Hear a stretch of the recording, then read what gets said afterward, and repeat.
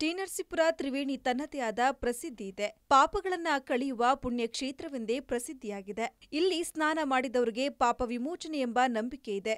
ಆದರೆ ಈ ನೀರಿನಲ್ಲಿ ಸ್ನಾನ ಮಾಡಿದ್ರೆ ಎಷ್ಟು ಸೇಫ್ ನಿಮ್ಗೆ ಗೊತ್ತಾ?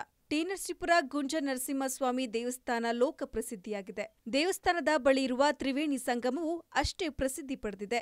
ಮೂರು ವರ್ಷಗಳಿಗೆ ಒಮ್ಮೆ ನಡೆಯುವ ಕುಂಭಮೇಳಕ್ಕೆ ನಾಡಿನ ಲಕ್ಷಾಂತರ ಮಂದಿ ಇಲ್ಲಿಗೆ ಆಗಮಿಸಿ ಮಿಂದೆದ್ದು ಪಾಪ ಕರ್ಮಗಳನ್ನು ತೀರಿಸಿಕೊಳ್ತಾರೆ. ಕಪಿಲೆ ಹಾಗೂ ಕಾವೇರಿ ಒಂದೆಡೆ ಸೇರುವ ಸಂಗಮದ ನೀರಿಗೆ ಟಿ ಒಳಚರಂಡಿ ನೀರು ಸೇರ್ತಿದೆ. ಟಿ ನರಸೀಪುರದ ಇಪ್ಪತ್ಮೂರು ವಾರ್ಡ್ಗಳಿಂದ ಹರಿದು ಬರುವ ತ್ಯಾಜ್ಯ ನೀರು ನೇರವಾಗಿ ಸಂಗಮಕ್ಕೆ ಬಿಡಲಾಗ್ತಿದೆ.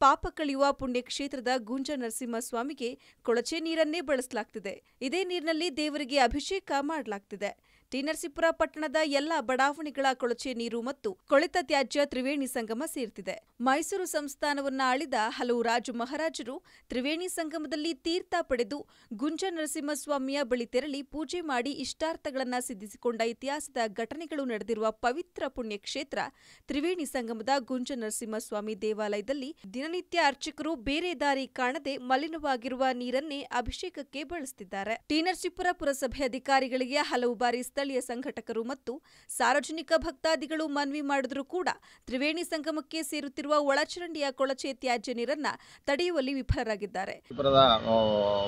ಮುಖಂಡರು, ನಾವು ಇಲ್ಲಿ ಟಿ ನರಸೀಪುರದ ಮೋರಿ ನೀರನ್ನು ಸೀದಾ ನಾವು ಕಾವೇರಿ ನದಿಗೆ ಬಿಟ್ಟು ಗುಂಜಾ ನರಸಿಂಹಸ್ವಾಮಿ ದೇವಸ್ಥಾನದ ಮುಂಭಾಗದಲ್ಲೇ ಹರಿತಾ ಅಂತ ನೀರು. ಇದು ಕಾಶಿಗಿನ್ನ ಒಂದು ಗುರುಗಂಜಿ ಜಾಸ್ತಿ.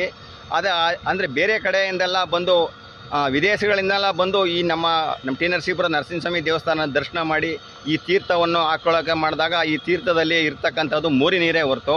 ಈ, ಇದು ಇದ್ರ ಬಗ್ಗೆ ಯಾವುದು ಶುದ್ಧವಾದಂಥ ನೀರನ್ನ ಮಾಡಿ ಒಳಗೆ ಬಿಟ್ಟಿಲ್ಲ. ಹಾಗೂ ಪುರಸಭೆಯವರು ಇದು ನಿರ್ಲಕ್ಷ್ಯ ಮಾಡಿ ಇದು ಹತ್ತಾರು ವರ್ಷದಿಂದ ಇದೇ ಥರ ಆಯ್ತಾ ಇದೆ. ಯಾರು ಜನ ಕೇಳೋರೇ ಇಲ್ಲ ಇಲ್ಲದಂತ ಆಗಿದೆ.